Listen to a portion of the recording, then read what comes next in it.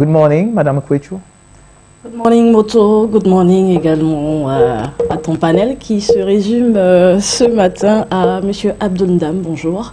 Et bien sûr bonjour à tous nos téléspectateurs et internautes connectés à l'instant. Le panel ne se résumait pas à Abdundam, on avait dans, en termes multiplex, on avait le Burkina Faso et le Bénin ce matin. Voilà, donc euh, pour le panel en présentiel et celui qui euh, voilà qui on n'était pas en présentiel juste pour titiller alors ce matin on parle du Bet Award aux États-Unis le sacre des euh, artistes nigérians voilà alors, il faudra peut-être refaire hein, ton accent, Mouton. Voilà, c'est le Beat Award. Voilà. Beat. Voilà. Beats Awards. c'est Oui, Beats Awards. en tout cas, ça se prononce. C'est quelle langue ça? Ça se prononce comme ça. Alors, euh, se célébrait hein, euh, dimanche dernier les Beats Awards du côté des États-Unis et euh, on a pu remarquer comme ça le sacre de deux artistes nigériens, mm. notamment la chanteuse Terms et Wizkid. Voilà, les deux chanteurs donc qui se sont fort illustrés, le de 27 ans, qu'elle a remporté le titre, le trophée de meilleure collaboration pour Essence et également elle est ressortie comme meilleure artiste internationale. Faut dire que dans cette catégorie de meilleure artiste internationale était nominée notamment Fali Poupa et euh, également nos jeunes chanteurs camerounais Taiki, voilà, qui lui également donc était de sortie. Et on peut noter également Phil Boyce qui était donc lui également nominé dans cette catégorie. On aura peut-être hein, avec le concours de l'ARIA, voilà, euh, un petit moment, un petit bout de ce de ce passage de Thames voilà, donc euh, Thames qui euh, est reparti non seulement avec le trophée de meilleur artiste international, mais également avec le deuxième trophée qui était aussi euh, qui mettait aussi en honneur les artistes africains, meilleure collaboration, notamment pour le remix de la chanson Essence de Justin Bieber, titre dans lequel est en collaboration également avec un certain Wizkid. La culture afro-pop donc à l'honneur, c'était dimanche dernier du côté des États-Unis. On parle à présent de mode pour signaler que euh, l'Afrique, hein, l'Afrique et particulièrement euh, le euh, Cameroun est à l'honneur. C'est à la faveur de l'Africulture Fashion Show, acte 5. Effectivement, acte 5, il faut dire que euh, la levée hein, et la fermeture de rideau, c'était donc euh, hier, euh, du côté de Bonanjo, à l'hôtel Falaise Bonanjo, sans publicité bien sûr, était donc au rendez-vous des créateurs de mode camerounais et qui particulièrement promeuvent donc la culture et la mode made in Cameroun. Il est question de faire valoir hein, euh, ces maîtres, on va dire des ciseaux, qui peuvent aussi euh, simplement mettre en valeur des matières de chez nous, en passant du pagne ou en dope. Bref, il est question clairement de faire valoir la mode de chez nous et faire comprendre qu'il est également possible hein, d'avoir ces matières parfois hein, euh, considérés comme étant pas forcément à la hauteur de la mode euh, venue d'ailleurs.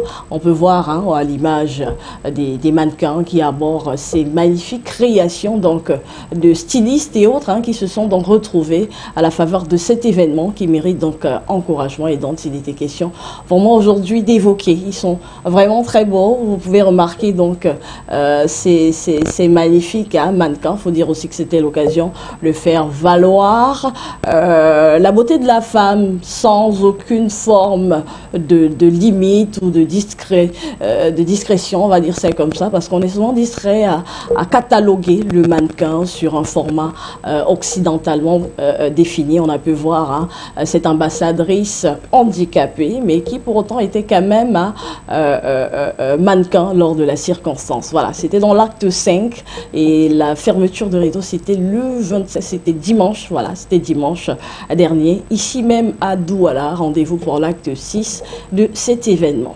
Voilà, rendez-vous pour l'acte 6 de cet événement. On sort de cette rubrique avec euh, la culture découverte. Vous nous dites ce matin, Kouichou, que le Malawi, le Malawi, le maître des albinos, fait tabac. La condamnation d'un prêtre hier 27 juin jette le feu aux poudres. Effectivement, hier, euh, le tribunal Blantyre au sud du Malawi a donné son verdict.